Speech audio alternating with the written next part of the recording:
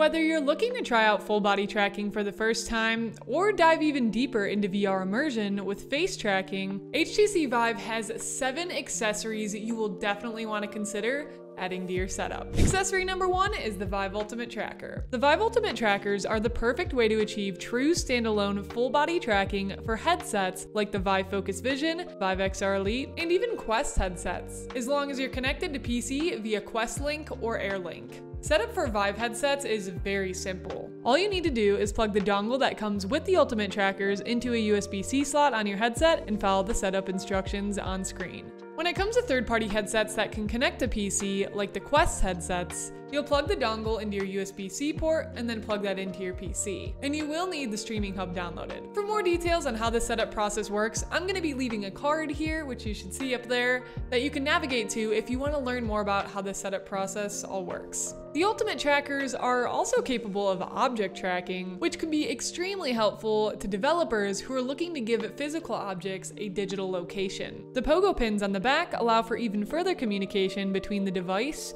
and customization for applications like VR arcades. These trackers will work with any app or game that supports full body tracking. Some of our favorites include VR Chat, Dance Dash, and Blade and Sorcery. Accessory number two is the Vive 3.0 trackers. Just like the Ultimate trackers, the 3.0s allow for full body tracking in VR. But the big difference is that these are meant for headsets with base station setups. They work with 1.0 base stations and 2.0 base stations. They tend to be a top pick for those who are using any base station tracked headset like the original Vive, the Pro 2, the Valve Index, and so forth. They're small and lightweight, which makes them a great upgrade if you still have the Vive 2.0 trackers. Tracker 3s are also used for object tracking. This is beneficial to developers or businesses that are interested in using these trackers for unique setups and situations. Both trackers can also be used in game engines like Unity and Unreal Engine with our SDK. Another key feature to mention is the compatibility between Mars CamTrack and our 3.0 trackers. Indie creators and major studios have been using this combination to blend production tools with virtual worlds. It's one of the most affordable solutions on the market when it comes to virtual production. And you can learn more about Mars CamTrack by checking out the card above. Accessory number three is the 2.0 base stations.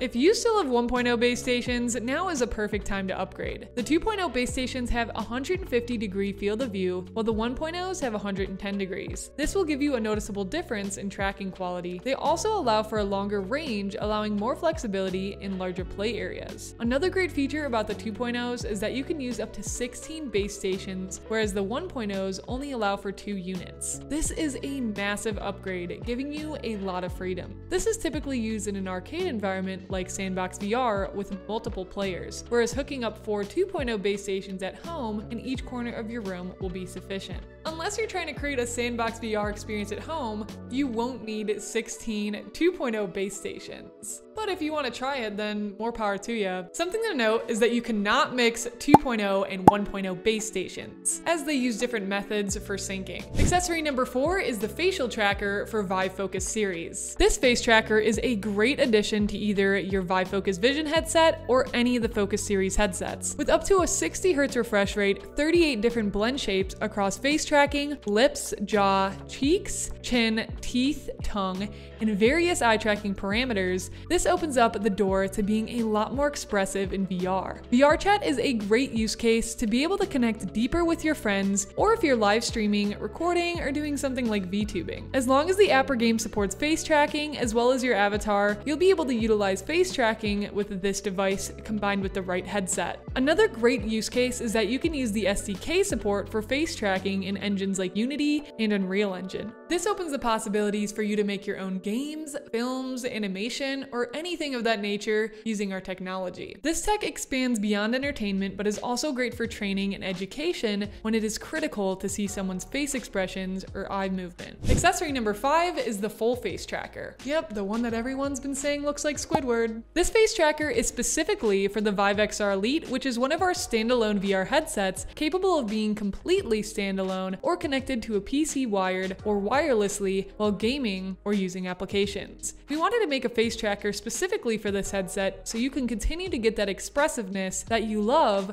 with an even smaller on-the-go headset. And you can learn more about the differences of the Vive Focus Vision versus the Vive XR Elite by watching our video linked in the card above. This accessory covers the same things as the Focus Series facial tracker, but is exclusive to the Vive XR Elite. Just for clarity, this tracker right here, the Focus Series facial tracker, is not compatible with the Vive XR Elite. That's what the full face tracker, this one here, is for. Accessory number six is the wrist tracker. While not available to the direct consumer, you can get a Vive wrist tracker. These have specific use cases like enhancing hand tracking by providing an extra reference point to the VR system to determine your hand position more precisely. They're also used for real-world object tracking in virtual environments with six degrees of freedom allowing for more immersive interactions with physical props in VR. This is useful for any kind of professional training scenario, as well as sports-related VR applications to help with analysis of movement.